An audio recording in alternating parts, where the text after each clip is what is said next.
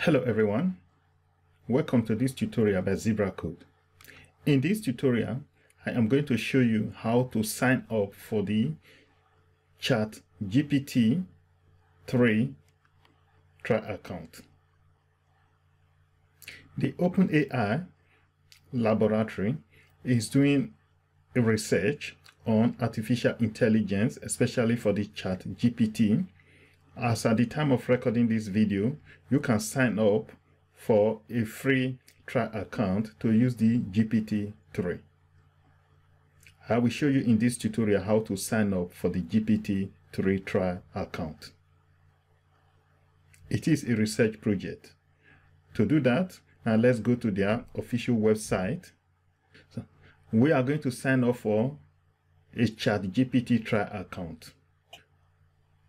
In the process, we will sign up for OpenAI Chat GPT Research Trial account, and this is the link that we are going to follow to get to their official website. By following the link in the previous slide, I am now on their official website.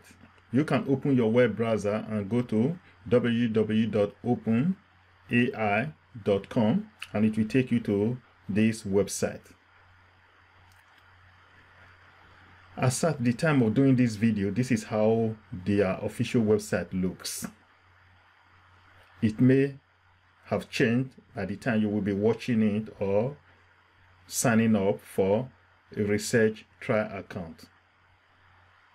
To sign up for a research trial account, it says here introducing ChatGPT Research Release try learn more. So you can click on try here and sign up on the next page. I signed up with a google account. And you can see here i have two tabs.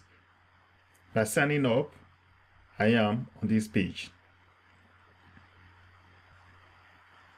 After signing up you will come to this web page. Here you can reset thread. You can click on dark mode you can OpenAI Discord. Here you can look at updates and their FAQ and here you can log out.